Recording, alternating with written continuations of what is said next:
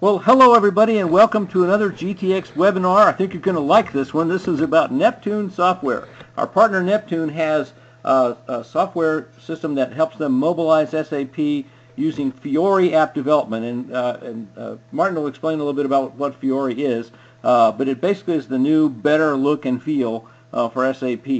So this is a this produces a really nice looking app uh, for mobility. And um, I think you're going to really enjoy this.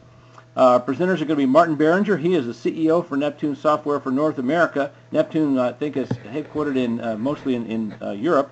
But um, uh, our intro is going to be by Dean Jackson. I think everybody knows Dean. He's a senior product manager with Zebra. And I don't know why I have a zebra on. I saw that. I just noticed that. Did I have that there this morning? I must have. Anyway, he's a senior project manager and a zebra like us. Okay. there we go. Exactly. So, uh, Martin, are you ready to go? I'll, I'll make you the, the presenter. You're going to run the slides, and then uh, I guess, Dean, you're going to talk first. I want to remind Yeah, I'll introduce. Yeah, go ahead. Okay.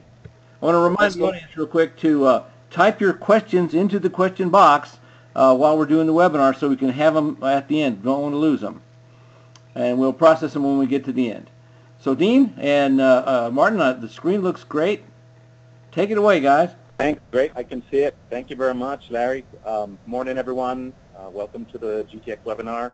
Um, great to be here. I'd like to introduce you to Martin Barringer, who's the CEO of Neptune Software in North America. Um, just by way of introduction for Neptune, Neptune is a Zebra ISV partner. They've been an ISV partner for Zebra for many years, um, but they're also a, a uh, an SAP uh, ISV partner as well to build in out um, applications for SAP using the Neptune platform. And the applications that they offer to the market are really across um, industry verticals, but it's specifically for the SAP market space. And by doing so, um, these applications are mobile apps, right? And, and, and so by making these this, this offering to the marketplace, it drives demand for Zebra's product offering, right, or mobile computers um, as well. So Neptune completed um, Zebra validation in 2015 on our Android devices. Um, and uh, that's done in our Global Solution Center, which is a part of my team that actually does the uh, validation. So go to the next slide, uh, please, Martin. I want to talk a little bit about the Global Solution Center and market readiness um, because we, you know, we leverage um, our partners and we also leverage our ISVs that support our global partners as well um, in the way of co-innovation, uh, joint development, um, design build, uh, solutions jumpstart, which you guys know about, um, testing and compatibility and validation, and we do all this technical work. Um, and what we're doing in 2016 is really being intentional about the work that we're doing uh, in terms of um, outreach, trying to uh, promote them both internally as well as externally uh, to a broader audience to tell you guys, the sellers, what's out there and what you can use, what, what solutions you can evangelize um, within your business. And when you're building out your portfolio and making offering um, to your end customers, what those solutions are that you can pull from um, to leverage um, uh, software to position more hardware business. Right, so today we're going to focus on Neptune. We're going to focus on Neptune as it relates to uh, SAP.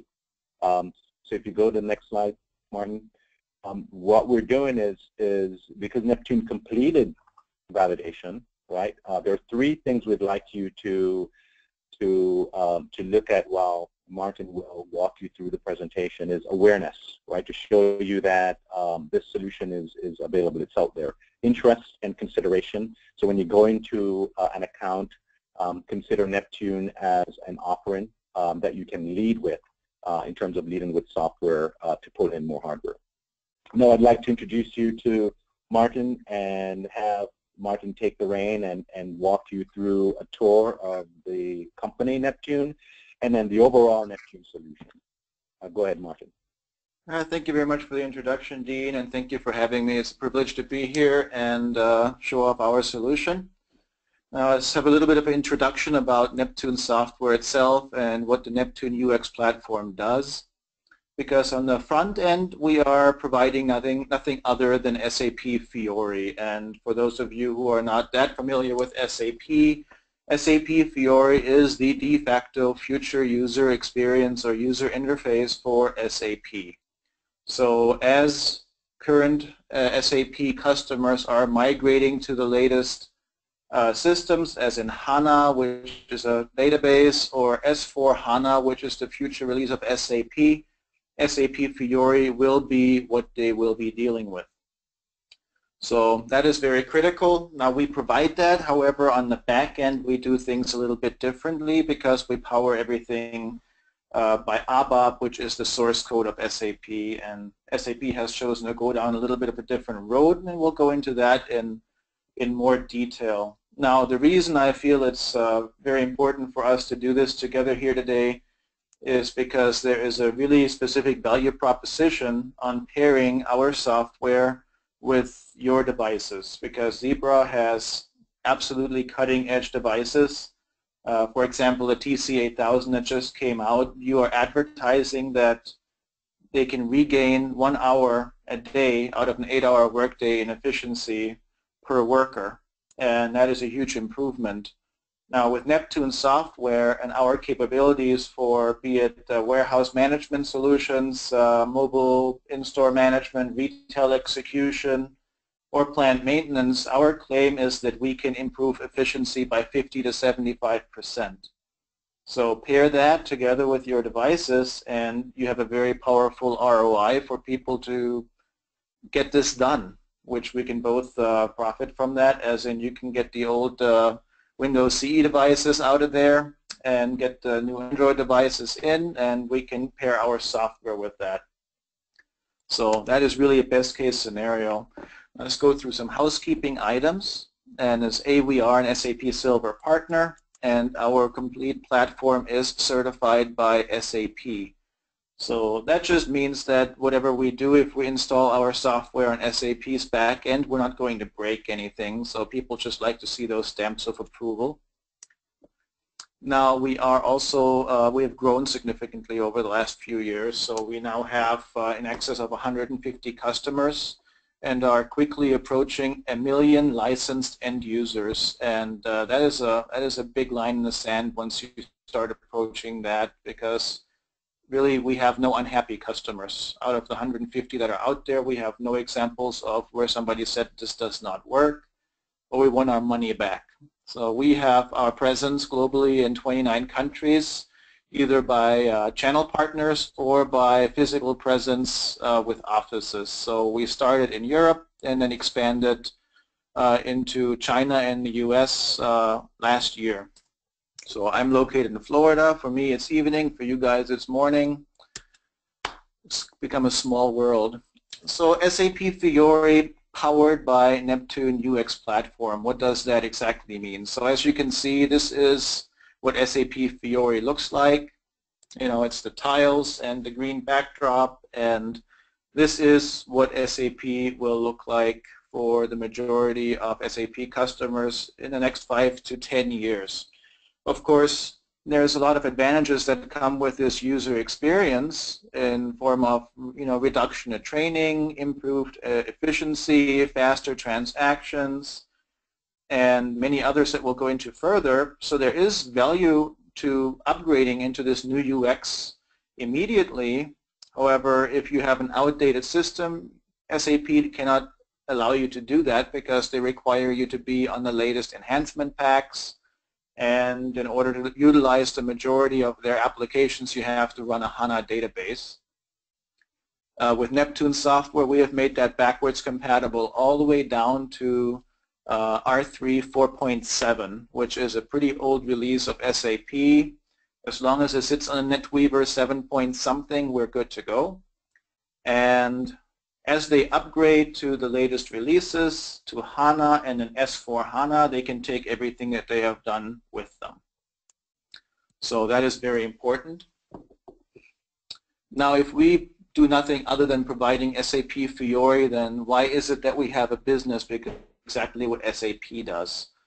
And we very often get the question, why uh, would we want to pay for Neptune software licenses if SAP Fiori is licensed for free by SAP? And the reason we can make a value there is because we enable ABAP developers. So ABAP developers are the folks who have coded the back end of SAP for decades.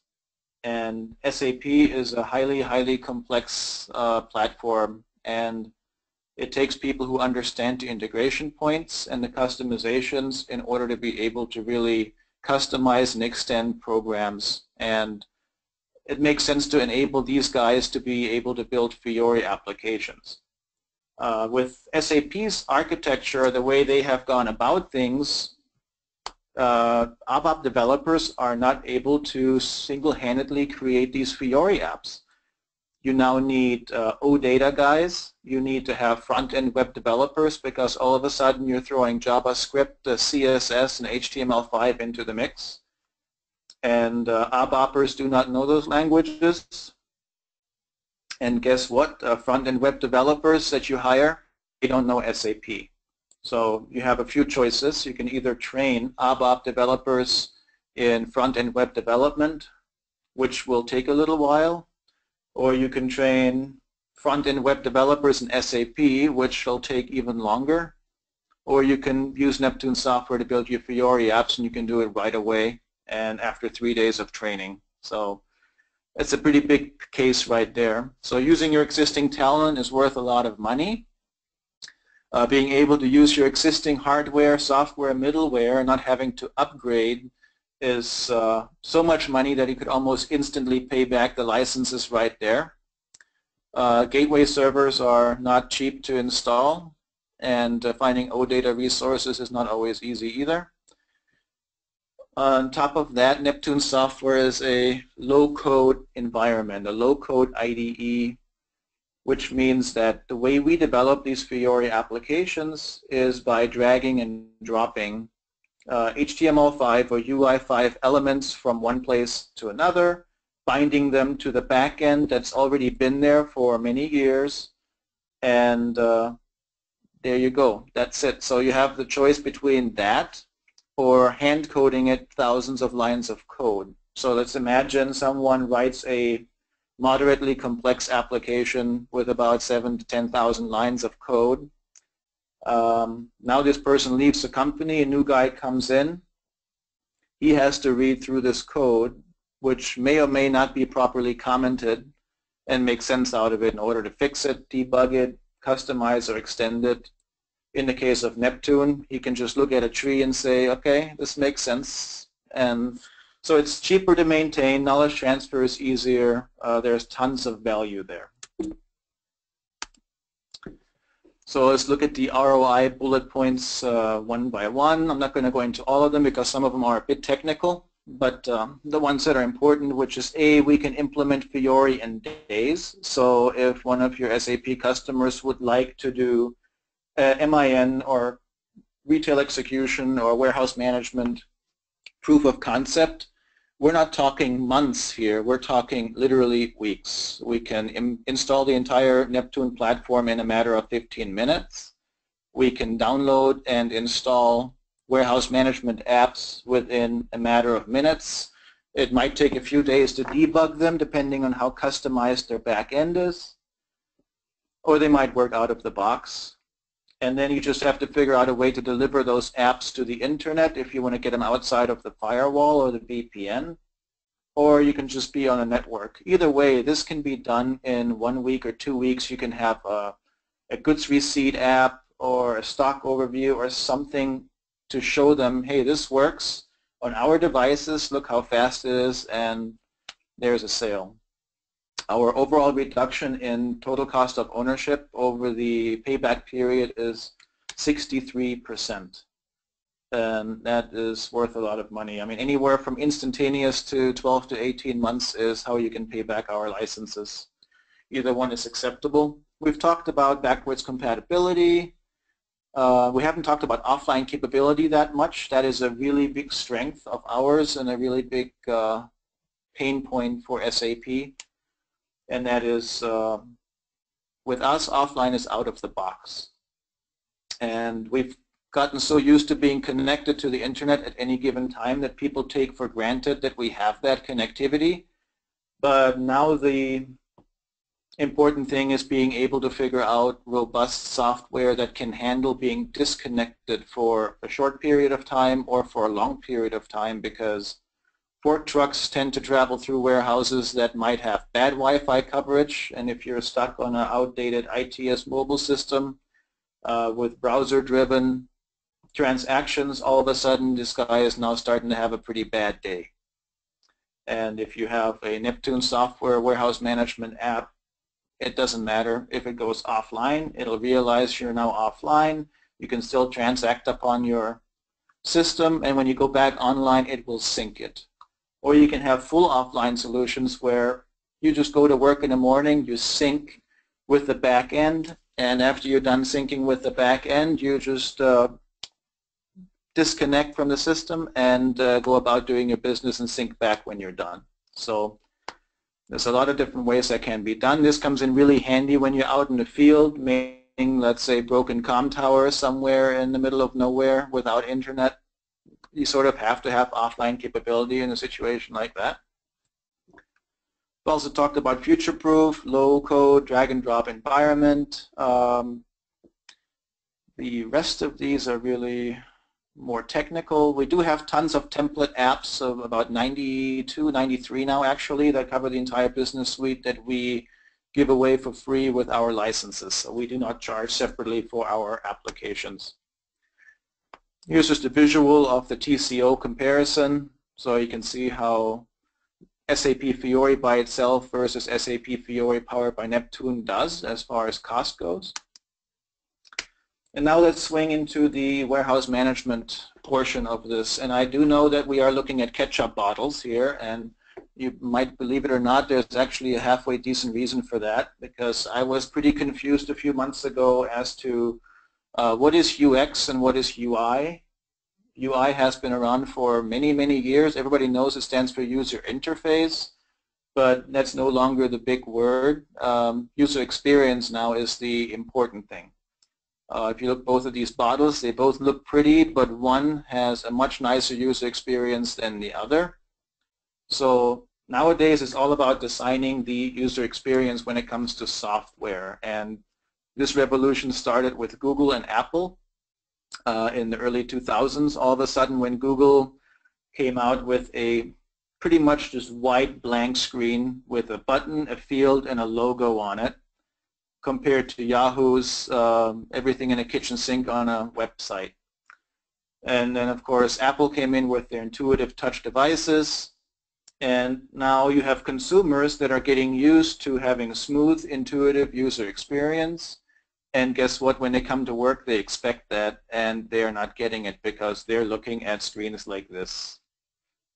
And there's actually research out there that shows that retention for employees is worse eh, with software that is clunky like that. So we need to fix it and that is why SAP has come out with UI5 which is on the right side here.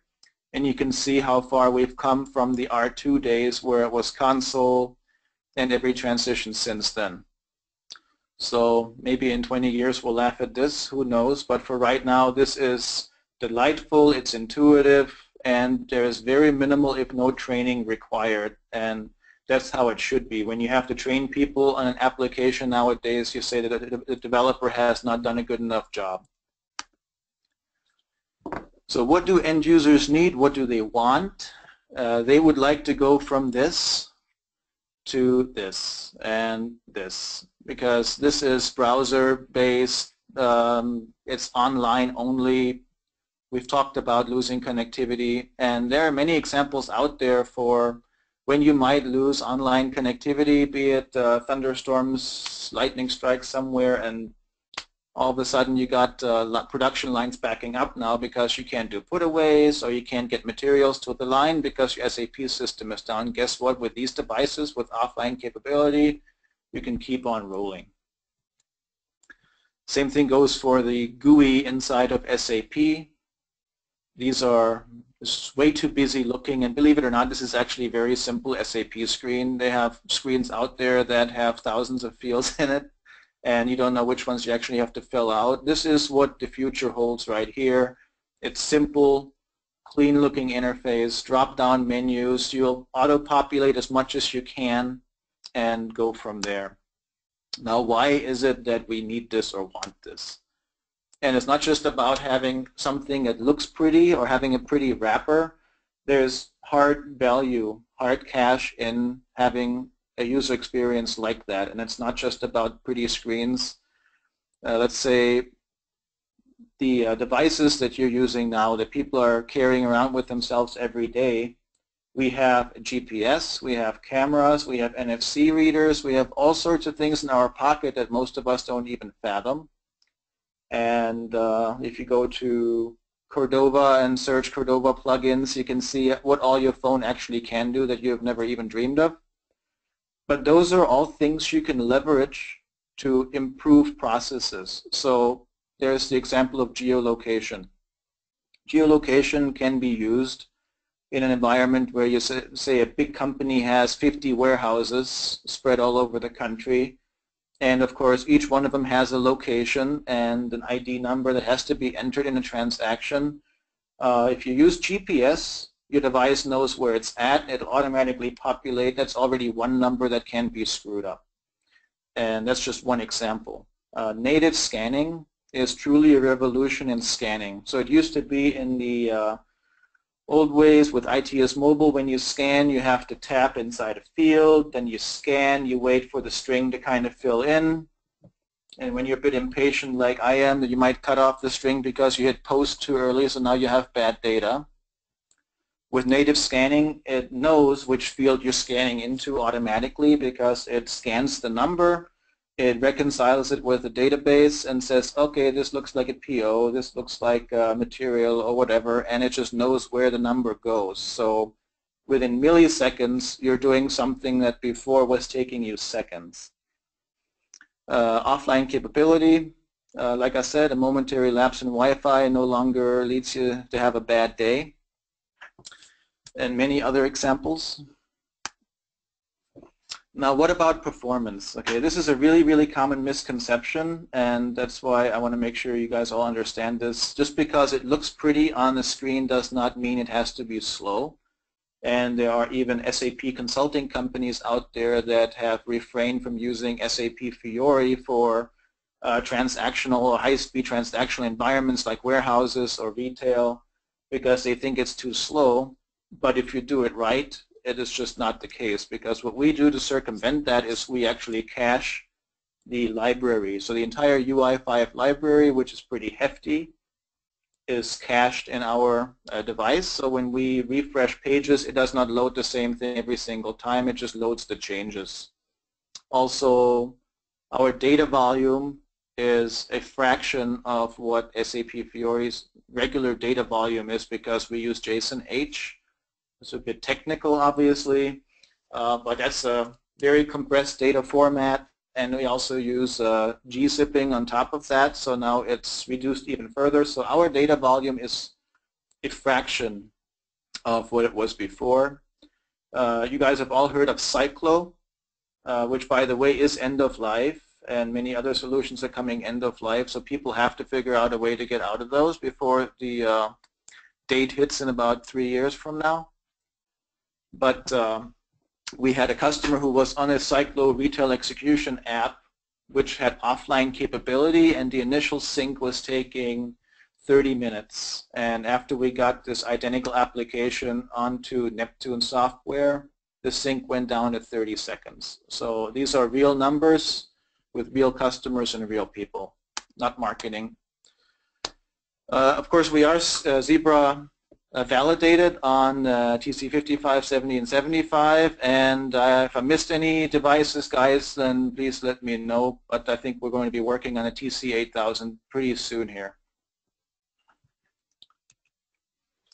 So that being said, let's go back into uh, a demo. So I have uh, my reflector, actually my remote view here. Can you guys see my screen? Yeah, it's looking good, Martin. Yeah. Okay. Good. So you can see this is now uh, actually the TC8000 that I'm using live, real time, and this is uh, the entire Fiori app for warehouse management. This was actually designed by a channel partner of ours called S5 Consulting. We rely heavily on our channel partners because they're out there for a reason. It's because they're experts in something. And in the case of S5, they are uh, leaders in warehouse management. So they built this app and it, works great. So let's start by doing a you know goods receipt and uh, see how that works. So the first thing you can see is that we get a list of purchase orders, right? And this is about a year's worth. Now, since this is an offline functional app, we need to make sure that we have synced this with the latest data that's in the system. So I'm going to synchronize this right now, and that's done. So this just pulled in. You can see right here, it's set for 12 months. So this pulled in 12 months worth of purchase orders in a matter of seconds, and this is uh, thousands, okay? So from that point on, there's a few things we can do. Uh, the search functionality is kind of neat. The way it works is we can actually just search for anything text related. So let's say let's search for all uh, purchase orders that have Apple in it, and here they are, right? Of course, now I can look and pick the one I want, but who does that? I mean, usually a delivery comes with a delivery document where you can now just scan the purchase order, and you have to pay attention because this is this this goes quickly. So when you hear the beep, it's done. So and we're done. So I scan the purchase order number, and it immediately native scanning reconciled the, the, numbers with the back end and says, all right, this is a purchase order, and here are my line items. So this is also going to go pretty quick, so pay attention. This app is set up to where every time I scan a finished product or a material, it'll auto-increment and do a goods receipt. So you'll see that number, that zero underneath received, you'll see that change to whatever every time I scan. So let's do one here. As you see, we just received one of these devices. And I'm going to do a few in a row so you can see just how fast and performant this is.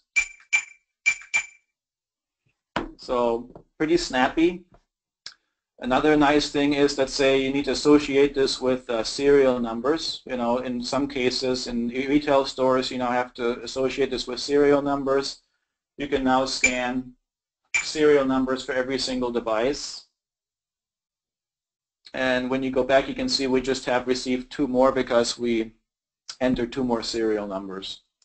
So this was, uh, I know this is, you know, it, it might seem not impressive because it's so fast and so seamless, but, you know, this is not supposed to be rocket science. It's supposed to be easy, and this is what this is. You just scan and it works no training required. So let's go and do a physical inventory counting, which will be just as quick and painless. So I have my material field here, and I'm going to scan a material. And it says the product was counted. This was also pretty snappy. And you can see I have 81, and now I can simply go in here and update this count and say it's you know just add seven more and synchronize it and get back out. And this is how you do a physical inventory count. So pretty pretty straightforward. Obviously I'm not going to be able to show you all of these transactions. The downside of having an IDES based demo system is I have to have somebody create data for every single thing I do because it's not a productive environment so let's do a stock transfer order. That's uh, not always the easiest to do in the industry, so we're going to have to pick our RFQ number, and uh, this would be number one. Now, keep in mind, this is something that could be pre-populated. Any one of these fields could be pre-populated based on set up user parameters. So whatever user logs in, he knows who this guy is, what warehouse he works in, and you could even auto-populate the RFQ. Or if you want to be really fancy, you could put an NFC tag and scan an NFC tag rather than doing this by hand. So either way. So let me scan a, a stop transfer order. And it found it pretty much right away. Here it is. So we have our transfer order number, delivery number, the vendor, the date, and all we have to do is confirm this and it'll just run, you know. So I'm in Florida, this is in Norway, and uh, it took just a few seconds to do this. So it's confirmed. So pretty straightforward. So let me show you this because I told you this works in an offline environment. Now this is, I'm using remote view which relies on Wi-Fi and if I turn the Wi-Fi off my screen will go blank. So for one second I will show you something on my iPhone, which I know you guys don't sell iPhones, but uh, just to make a point, because what I can do in my iPhone, I can actually go in here and say, let me turn the Wi-Fi off and go to airplane mode. But for right now, I'm not going to do that because I want to synchronize the app first. So this is the same exact app that I used on the TC8000. Okay, This is how we log in by the way. The first time you come in, you, you log in with your regular username and password just like you're used to. Um, but however, after that, all you have to do is this. And that is a big, big difference maker because if, just imagine if you had to put in your full username and password in your Facebook app on your phone every time you wanted to like something or post something, nobody would ever use it. Uh, same thing goes for user adoption in an enterprise environment. It has to be smooth, so easy login is important. So I'm going to go in here and I'm going to go into airplane mode now. And you can see as a little something changed. I now have a red icon on the top left that says I'm offline and all of a sudden there are some transactions that are grayed out but then there are several also that are still there. So the ones that are still there are fully offline capable and the other ones are not. But this could be exactly the same way. So I have my purchase orders here and uh, you can see now how easily we integrate with camera because now I'm just going to use a camera to scan the PO number and here it is and I'm just going to use a camera to scan and receive a device and same as you're used to from seeing earlier, only much slower because this is not good at doing this. You know, this is what something it would be would be good for a manager or a supervisor that doesn't do this all day just to double check something. You know, but there's a reason why you guys sell these devices because they work smoothly at what they do. So uh, this is the Neptune client. Like, like I told you before, we don't just do I'm showing you the wrong app here. There you go. We don't just do uh, one type of app. We do apps for everything. Actually, I'm going to show you this on the uh, TC8000 so you can see what it looks like because I actually installed it down here also. And it's going to go open up and it'll be give me a choice between a demo mode and login. If you go to demo mode, you can download this app to any device um, just by going to the App Store and searching for Neptune Client. You can see we have the same thing that we've just demoed for warehouse management, for materials management, sales distribution, plant maintenance. We could do maintenance orders, equipment, functional location, installation, anything. So we have a fully functional SAP Business Suite solution here. Okay. So I think this is the end of the demo part. And um, think, did we uh, go to questions earlier or did we wrap up the PowerPoint first, guys? Yeah, I think we went to questions in the middle. Okay. Uh, Larry, are you getting questions in? Uh, I've got a couple questions. Uh, you want you want to stop and do those real quick? Yeah, let's just pause and do those. Uh, question, uh, first question is uh, actually about uh, do you use passive RFID like using the uh, RF 80, RFD 8500 sled? Um, RFID is something that uh, is I, am going to have to do more research on because I know we have done that uh, for folks out there, but also know that RFID is not as popular as it used to be. Uh, NFC is really the new way of the world. So that is something we need to research on. But the thing is, anything that integrates with the back end of SAP that has SAP customization, we can leverage. That's the beauty of Neptune because it sits right on top of the back end ABAP code.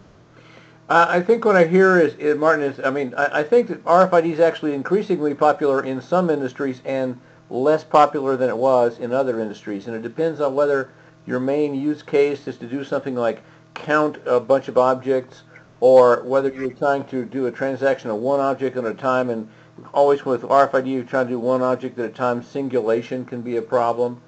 So I'm thinking that it depends on what industry you're in, whether RFID is becoming more popular or less popular. But I, I do agree that NFC is becoming really important, especially in, in manufacturing and distribution uh, applications where you do need singulation of, of the items you're talking about. So uh, we, we probably ought to look, you know, explore, look for use cases where we might be able to use passive RFID. But right now I'm hearing that you don't really work with passive RFID much. So. Yeah, I don't. I haven't come across it too much. So, but that is something we can do more research on for sure. Yeah. So next question is, can the system work in offline mode, meaning upload data to the Android device via an Ethernet cradle and then send the worker off to work with a batch upload after a work shift? Yep. Actually, I, I showed you uh, part of that functionality, but let me give you an example of a uh, literally worst case scenario, and this is a military customer to be unnamed because they're sort of confidential, uh, is they are only allowing sync to the backend system via cable because they don't trust a Wi-Fi network or anything wireless to not be hacked. So you truly need to be able to load to your device into the local SQL database on the device, whatever you need to do your job, and then come back, cradle the uh, device, and load back up and synchronize to the backend system. So yes, we can do that absolutely. Okay, and the and the other question is, is there a demo available on App Gallery? You mentioned we could go to the App Store and download this, but how about on our, our App Gallery? Uh, yes, we Yes, do have is. one app is uh, validated, right? Yes, yes, that's correct. And if you just search on uh, Neptune, you'll see uh, the app available. You can download it. Cool. That's great. That's all the questions we have right now. Let's go ahead and finish the slides, and then and then we'll wrap up. Uh, you know, before you do that, I just want to, I just, I can't stand it. I got to call the, the audience's attention to how clean and easy to use the user interface is. This is not what you're, what I'm used to seeing for SAP front ends. Uh, this is, this is such a leap forward for SAP, and I think a lot of SAP customers will, will want to move to this as quickly as they can. So that's one reason it's important to know about this now. Right, that's perfect. Thanks, Larry. Uh, thanks, Martin. And and this is where the industry is going. Um, as you look at, you know, the migration from Windows Mobile, Windows Embedded to um, to Android? So we know that um, Syclo will be end of life, right? Syclo runs on a lot of the older devices. Um, we know that ITS Mobile is green screen, um, running with uh, SAP WM and EWM. Um, so, you know, these are some of the things that we know, including, you know, Microsoft end of life and, um, you know, their, their own uh, OS as well, too. So the industry is moving to this richer um, user experience versus AUI. Um, native scanning, power scanning, um, eliminating scan and verify, right? Um, so as you go through, um, you know, the, your your prospecting and your demos, and you're showing customers um, mobility solutions for SAP, um, please feel free to go ahead and download the the client on your Zebra Android device and and play with it and show um, show how it works and and just you know um, get familiar with um, the intricate scanning capabilities of um, of the whole solution. And we would be happy to to assist you in terms of demos um, if you have customers or prospects that you need to showcase this to. Um, you know, we can actually uh, help you with that that as well. Um, there is a, uh, Neptune um, partner spotlight uh, white paper that's out there. I'll, I'll pass that to Larry and he can forward that to, um, to the team. The white paper talks about uh, Neptune overall as a company, um, the solution that was validated uh, in the uh, Zebra Solution Center, um, what products are supported um, in the Neptune app, and then where there is a link in the PDF that actually links directly to the to, to the app on the Zebra App Gallery. Um, on the right of your screen, right under this uh, call to action, um, you can click through here too, and it will take you directly to the browser UI. Um, that will and and what well, Martin, why don't you show them the browser UI um, and and where the the, the solution is uh, on the internet because they can actually do that today, right? Just go directly there and actually show um, uh, start playing with the solution. Yeah, absolutely. And uh, I did not go into that. which, uh, Yeah, we have a little time still. Yeah, we're doing fine. We're doing fine for time. yeah. You can just yeah, I think you can just click on that because it's uh, a link. Do you see my phone again? Yep. Good. So there's a couple ways you can get this app. One is you go to the App Store and search for Neptune Client. And I already have it, but of course you don't, so you just hit download. That's number one. And then of course everybody asks, can this just be done on a browser? And here's the browser-based version. So I just have a, a favorite here set up, which is called IDES Launchpad. And here it is. And it actually looks remarkably similar to our web launchpad because it is one and the same bundle app. You know, we develop once and deploy to browser desktops and all different mobile platforms with the same push. So that makes it really easy. If I click on that, you'll see a sidebar that'll allow me to look at all different apps I have available in the system so you can see very easily what all we can do. And you can do the same thing. And actually we'll share a partner kit with you guys where there is uh, PowerPoints, flyers, uh, and resources on there. So if you wanted to look at this, you could.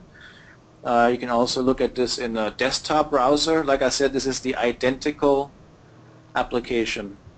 Now if I click on IDES Launch here, this is the same exact launchpad. And uh, only the sidebar is now permanently in place because I'm dealing with a wider screen. Um, is that what you wanted to see, guys? Yes, that's great. Thank you. Um, and so, so now you can see, you know, the richness of the UI um, and, and, and, and, and better, you know, user experience um, um, versus the old style or the old way of, um, of writing these transactions. Yeah. Correct. So uh, I'm sure questions are, more questions are coming in. People are thinking of like, you know, the enterprise browser, stuff like that, right? Are you getting any questions, Larry? Uh, I got one comment, great demo, and then, but then the same person said, I want to confirm that it is an app gallery. He's pulling it down now. So, uh, I, and, I want to I want to point out that you know uh, when I said a minute ago that this is you know a really nice, really clean, uh, easy to use user interface, and that is a revolution for SAP. I think everybody can see what I mean about uh, you know the quality of that. So we're getting pretty close to the end. Let let's before we go on to the next step, let me let me uh, poll my audience. Uh, heads up, audience. Try, time to vote. um, just let her let everybody give a, get a minute to uh, tell us the impact. Uh, Martin, the reason we asked these two questions, I've got two questions. One is this one is about impact on their job, and uh, well, we try to get information that people can actually go right out and use with their customers. And this is the question that tells us how well we do that. And uh, sometimes, sometimes we, we do more long-term information. The next question just asks about how valuable it is without, um, without relating it to a customer. Let me close this window. Anybody, uh, if you're going to get a last-minute vote in, do it now. One, two, three, going to close it. Closing. All right, let's go. This is the, just how valuable is this to know? This is not related to, to customers so much. This particular webinar, I think, relates very well to customer, uh, what our customers need. And uh, a lot of the information I think it gave us, some of our guys will be able to run right out and use that. So that's terrific. And getting votes coming in, well, that's pretty quick. Let's uh, close this one. I got one more. We ask technical level. Uh, these are SEs. I will we'll go ahead and tell you that uh, uh, they seldom rate anything too technical. it's just the kind of guys they are. So.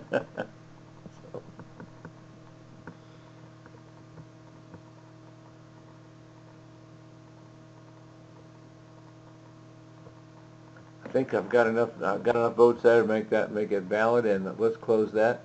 So let's uh, now we can get back to screen sharing. So, okay, let's pick it up and head on. Yep, I just wanted to really summarize real quickly what we're trying to get you guys to do, and uh, we we don't expect you to go out and know everything about Neptune software, obviously. So, I think the biggest value out there is for folks who are on the old CE devices, on ITS mobile systems, and they can buy these devices from you, the Android ones, the really cool new ones with our software, and pay for everything within 18 months. So how often can you do that? So this is an easy, easy sell, uh, and we'll be able to support you on it all the way through. So if you want to demo it to someone, we'll demo it with you guys and uh, help you guys close the deal. Yep. I mean, the... the uh, right, right. Thanks, Martin. Uh, one more thing I'd like to add. Um, if you go to um, Neptune Software um, website, I think it's neptune-software.com, there's a partner link there too um, that you can navigate to and search via country. Um, you go ahead and look and see which partners, which Zebra partners uh, are on that list. Um, there are Zebra partners that um, resell Neptune software that you can collaborate with as well. Um, so that's an opportunity um, for you to actually go uh, to do that research today and just look at you know the, the number of partners that are out there that uh, you can leverage to uh, to go to market with with Neptune. Yep, good point. Very good point. So it looks like uh, we, we don't have any more questions coming in. Uh, we've done our polling. Uh, we, are we about done? I think we are. Uh, one quick note to everybody, if you have any questions about how to engage with Neptune, uh, you can reach out to Dean Jackson or, uh, or to me, and we'll, we'll get you the information you need. Oh, I have one more question. Does the demo app have a barcode printing sample? Yes, it does. Yep. There you go, Mark. So, he says great. Okay. uh, let's see if anybody has any more questions. Give everybody just a minute to type them in. Going once. Not seeing any new questions. Going twice. Not seeing any new questions. Okay, going three times. I guess we're gone for tonight.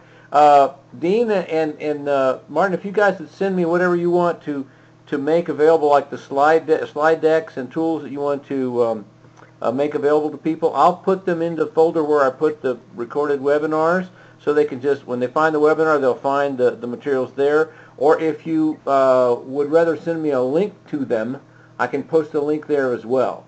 But whatever you send me, I'll, I'll put up there and I, I can get that up tomorrow. Okay. Awesome. I, good. I can send for that. all your help, guys. Okay, good deal. Well, Martin, thank you very much. Dean, thanks. We'll see you guys at Thank you. Thanks, everyone. the webinar. Thanks, audience. Bye-bye, Yeah. everybody. Thank you. Bye-bye.